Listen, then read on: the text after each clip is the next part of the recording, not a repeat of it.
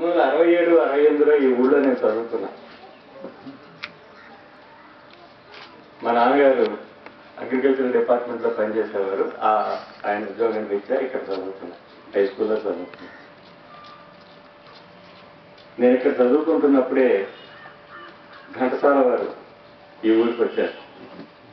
ఆయనకి అద్భుతమైనటువంటి స్వాగత సత్కారాలు అవన్నీ నాకు ఇంకా గుర్తున్నాయి ఆయన కచేరీ ఒక ఎత్తైన వేదిక మీద ఆయన కచేరీ ఏర్పాటు చేసినప్పుడు ఆ కచేరీ ఆ వేదికను ఆనుకుని ఇలా చెవి నేను కూడా చెవి మీద చెవి పెట్టి చెవి పెట్టుకుని వింటూ ఉంటే ఆ శృతి వాయిస్తున్న అతనికి ఏదో అత్యవసరం వచ్చి ఒరే ఇటు రారా నన్ను పిలిచి కూర్చోబెట్టి ఆ దీంట్లో నొక్కుతూ ఉండు చాలు అని చెప్పి తను ఏదో కిందకి వెళ్ళాడు. ఒక పది నిమిషాలు. ఆ పది నిమిషాలు ఆ వేదిక మీద కూర్చుని ఆ హార్మోనియం నొక్కడం అనే పని చేశారు. మర్నాడు హై స్కూల్లో ఘంటసాల సంగీత కచేరీలో హార్మోనియం వాయించిన యువకుడు అని నాకు గొప్ప ఇది నా జీవితంలో మర్చిపోలేనటువంటి గొప్ప సన్నివేశం. ఘంటసాల నాకు ఆ విధమైనటువంటి ఒక తీపి గుర్తుని మిగిల్చింది సాధారణంగా మనకి ఏ దేశ చరిత్ర చూసినా ఏమున్నది గర్వకారణం అంటూ చాలా ఆవేశంగా మనం చెప్పుకుంటూ ఉంటాం. కానీ అలా ప్రచురించడంలో నిరాశావాదం ఉంది అని నా అభిప్రాయం. నా దేశ చరిత్రలో ఇది గర్వకారణం అని సగర్వంగా ప్రకటించడంలో ఒక జాతీయతా భావం ఉంది. అసలైన అభ్యుదయ తత్వం ఉంది. నిజమైన దేశభక్తి ఇమిడి ఉంది అని నేను అనుకుంటాను. దేశ చరిత్రకు పర్యాయపదంగా నిలిచిన చరిత్ర రచనా చక్రవర్తి పండిత గొర్రెపాటి వెంకట సుబ్బయ్య ఆయన తరం వాళ్ళు ఆయన్ని గోవింసు అని ఆత్మీయంగా పిలుచుకునే అక్షర మిత్రుడు. దేశ చరిత్రకు నూతన వరవడిని దిద్దడమే కాదు దేశీయులు చెయ్యెత్తి చేకొట్టేలా దేశభక్తిని నింపగలిగినటువంటి వ్యక్తి గతమెంతో ఘనకీర్తిని చాటి చెప్పగలిగినటువంటి వ్యక్తి వెంకట సుబ్బయ్య గారు.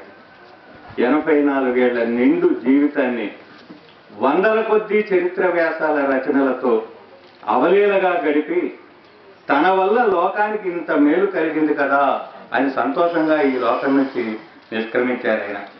పండిత వెరపాటి వెంకట సుబ్బయ్య గారు దివిసీమ దివ్యరత్నాలలో ఒకరు కృష్ణా జిల్లా వాసి తెలుగువారి ముద్దుబిడ్డ ఒక ఆదర్శం ఉన్నవారే జీవితాన్ని సుందరంగాను మధురంగాను మలుచుకోగలరు. అలా మలుచుకున్న వారు మాత్రమే పనిలో ఆనందాన్ని పొందగలరు. అంటారు సుబ్బయ్య గారు. మొదటి నుండి నేను నోరు లేని వాడిని క్రియారహితుడను ఉపేక్షాశీలిని ముప్పై ఏళ్ళు వచ్చాక కూడా సన్యసించాలని అనుకునేవాడిని అయితే నేను నిరీశ్వరవాదిని కాదు ఈశ్వర భక్తుని కాదు. దేవుడు ఈ నరక కోపంలో పడేశాడని ఆయన స్మరించితే గాని ముక్తి లేదని నేను నమ్మను. నాకు మొదటి నుండి చరిత్ర అంటే ప్రాణం. సమాజంతో ముడిపడిన వ్యక్తుల జీవితాన్ని చదవడం అంటే సమాజ చరిత్ర చదవటమే. ఇవన్నీ ఆయన అక్కడక్కడ అప్పుడప్పుడు రాసు తన గురించి రాసుకున్నటువంటి కొన్ని మాటలు. సుబ్బయ్య నీ మిత్రులు ప్రేమకు ఆత్మీయతకు ఆప్యాయతకు మారుమూర్తులు. నీవు ఒక ప్రేమ రాజ్యాన్ని నిర్మించుకున్నావు. నీ మిత్రులలో స్వార్థం లేదు. అదే నిజమైతే నిజమైన మైత్రి నువ్వు చాలా అదృష్టవంతుడు అని అంటాడు మిత్రుడు గొట్టిపాటి బ్రహ్మయ్య గారు అని రాసుకున్నారు ఆయన. ఐదుగురు ఆడపిల్లల తర్వాత రాళ్ళకు రప్పలకు చెట్లకు పుట్టలకు మొక్కి నిన్ను కన్నాను. నిన్ను విడిచి ఉండలేను. నీవు బందరు చదువు కోసం వెళ్ళవద్దని మా అమ్మ రత్తమ్మ కంటతడి పెడుతూ కూర్చుంది. తల్లి తర్వాత తల్లి వంటిది మా పెద్దక్క సీతమ్మ. ఘంటసాల పాలనలో ఉన్న ఆమె వద్దకు వెళ్ళి నా చదువు గొడవ చెప్పాను. ఆమె దయామయి భక్తురాలు వివేకవతి కూడా ఆ అక్క ఇంటి వద్ద కొంతకాలం పెరిగాను.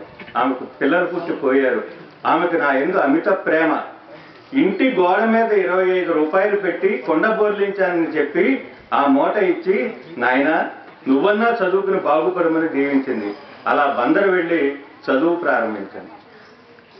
ఆయన బాల్యం గురించి ఆయన చెప్పుకున్నది. ఇక్కడ ఈ కొండ బోర్లించడం అనే మాట ఒక ఒక చక్కటి జాతీయ ప్రయోగం. మరి డబ్బులు దాచుకోవడానికి బ్యాంకులు లేనటువంటి పంతొమ్మిది ఆరు ఏడు ఆ ప్రాంతాల్లో గోడ మీద